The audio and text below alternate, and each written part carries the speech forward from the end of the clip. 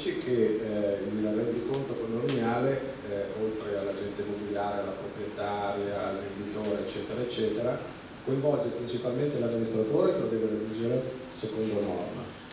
E, ehm, e può essere utile anche ai valutatori immobiliari per andare ad apprezzare caratteristiche, soprattutto beni comuni e la qualità stato manutentivo, eccetera, eccetera, dei beni anche comuni, giusto? Uh, se, se, lo facciamo insieme, no? permesso che ero un agente immobiliare FIAI per la concorrenza, ormai il patentino sapete che lo sospendono. Oggi valutare un bene, se io vado a dire a un condomino, ma soprattutto all'acquirente, questa casa vale 100.000 euro. Questo compra la casa, spende 100.000 euro, all'assemblea successiva arriva l'amministratore che gli dice hai X soldi da spendere per le parti comuni.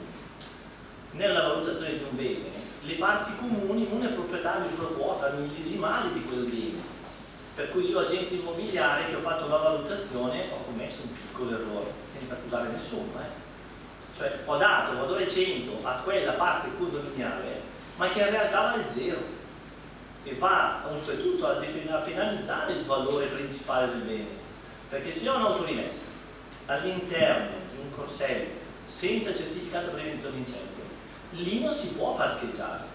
Un bravo condomino non se lo fa dire all'amministratore lì non parcheggia. Un bravo condomino dice non ho il certificato di prevenzione incendi. L'interrato, che immediatamente colpisce quella parte, io non ci parcheggio.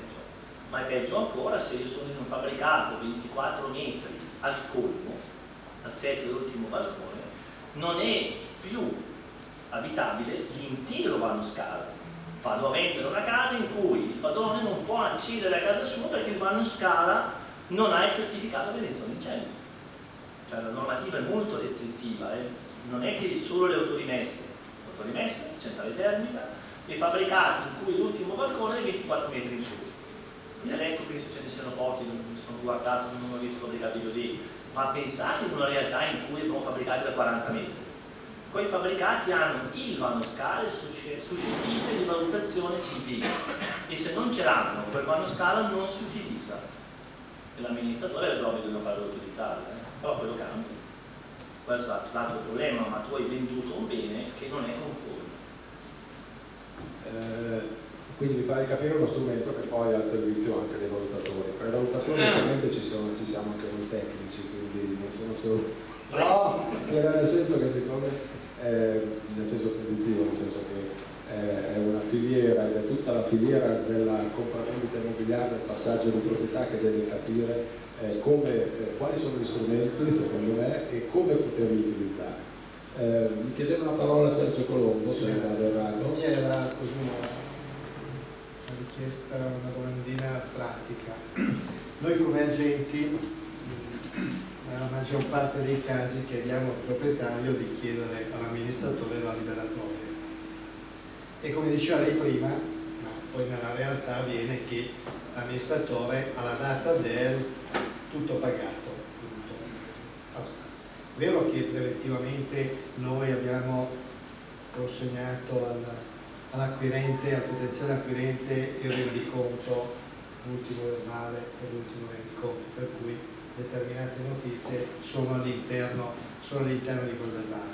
Poi ecco, non capisco, questa è una, una, legge, una disposizione di legge, non capisco la riluttanza da parte degli amministratori ad ottemperare a questa. Ecco, la mia domanda, magari da, da Pierino, però è lì che no. noi ci scontriamo. È vero che poi io, poi l'amministratore mi ha scritto questo e io sono appunto Premetto che qui c'è amministratore, io sono amministratore, come stiamo parlando male di amministratore? No, Se c'è qualche amministratore in sala, eh, assolutamente no. c'è, stiamo proprio discutendo no. per cercare di capire quali sono le, le, le problematiche. Non inteso male io mi sono no, no, no, non hai inteso male.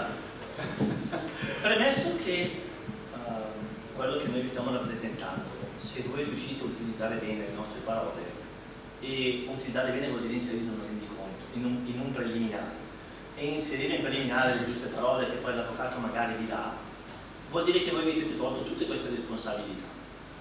Ok? Perché se io ti chiedo, amministratore, dammi questi documenti in questa forma, e quello che tu ricevi è l'obbligo di valutare quello, perché l'agente immobiliare non viene chiesto di fare l'amministratore, Per cui partiamo da questa parte qui, per cui mh, vedetela in questo modo, dovete imparare a utilizzare correttamente l'anagrafe condominiale e rendiconto. Per utilizzarlo bene bisogna conoscerlo, e quello che facciamo noi oggi è cercare di darvi questa parte. La riduttanza degli amministratori, guarda, io sono un amministratore, no? Anche abbastanza come diceva il collega eh, conosciuto. Il problema è i costi.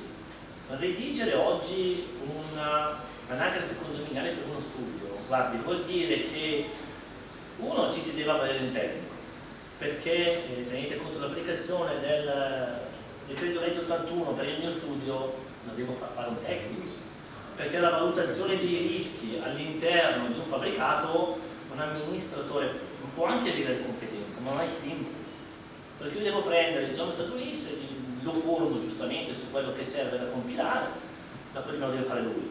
Per cui è anche un'opportunità di lavoro, ma è un costo che l'amministratore non può trasferire al condominio, perché nel suo incarico questa parte è competenza esclusiva sua.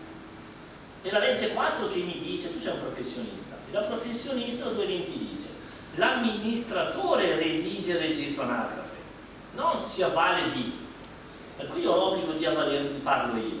Poi, anche qui, eh, era auspicabile che gli amministratori leggessero la 220 e iniziassero a dire quei soldi che prendo oggi non ci sto dentro. Non hanno fatto, anzi stanno giocando a ribasso perché si rubano i condomini oggi non si è capito il perché, ma il ragionamento di fondo, la 220 è un amministratore che ha messo a carico tre volte il lavoro che dovevo fare precedentemente. Il, il vecchio rendiconto, per chi di voi li contavate, no? Era conti. Oltretutto non, non avevi una specifica di come doveva essere fatto, cosa doveva contenere, che cos'era. Oggi leggiamo il 1130 bis, il 1130 bis lo leggiamo insieme, no? che così lo leggiamo bene, il rendiconto condominiale contiene le voci di entrata e di uscita e fino a qui ci siamo tutti, no? ogni altro dato inerente alla situazione patrimoniale del condominio.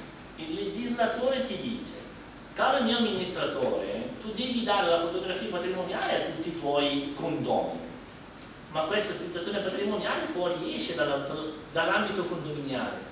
Tenete conto che gli istituti di credito oggi chiedono a noi revisori un aiuto per valutare un condominio in fase di, di, di prestito.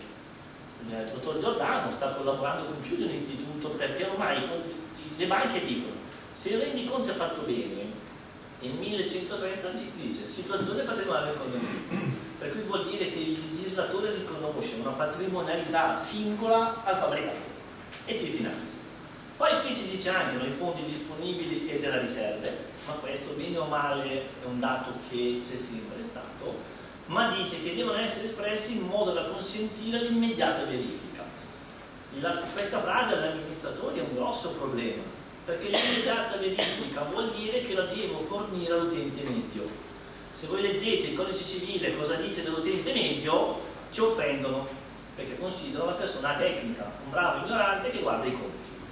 Per cui io che faccio l'amministratore devo mandare i conti ai miei amministrati talmente chiari e facili che devono essere comprensivi per un tecnico. Tant'è vero che i rendiconti fatti bene, siamo passati da 30 fogli a 100.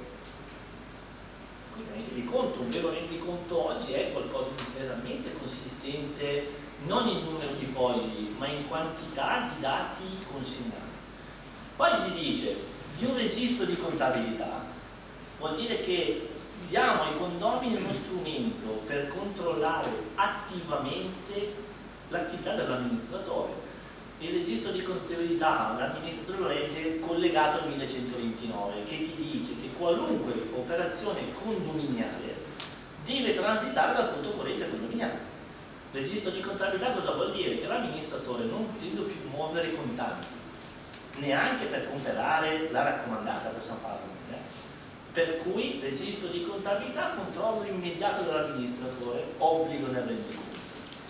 Poi anche qui, vedete che dice di un riepilogo finanziario e una nota sintetica esplicativa della gestione con indicazione anche dei rapporti in corso e delle questioni pendenti. Quello che vi ho detto io fino adesso lo troviamo tutto qui. Vi ho solo spiegato come un amministratore ha l'obbligo di farlo. Mi piacerebbe un giorno che anche voi all'Ecco riceveste dei conti fatti bene, diventa molto più facile per il condomino vivere la vita condominiale, ma per un agente immobiliare è qualcosa di veramente innovativo. Devo valutare un bene, vado a vendere, ok? Sovente voi vi dicono chi abita qui, ci sono gli extracomunitari, non ci sono, sono tutti italiani.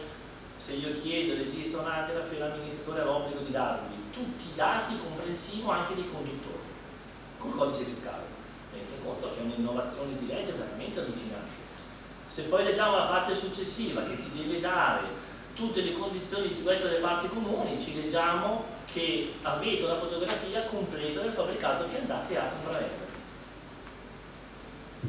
L'agenzia immobiliare, gli amministratori come fanno a darvi tutte queste soldi nuove con il compenso di, del 2012?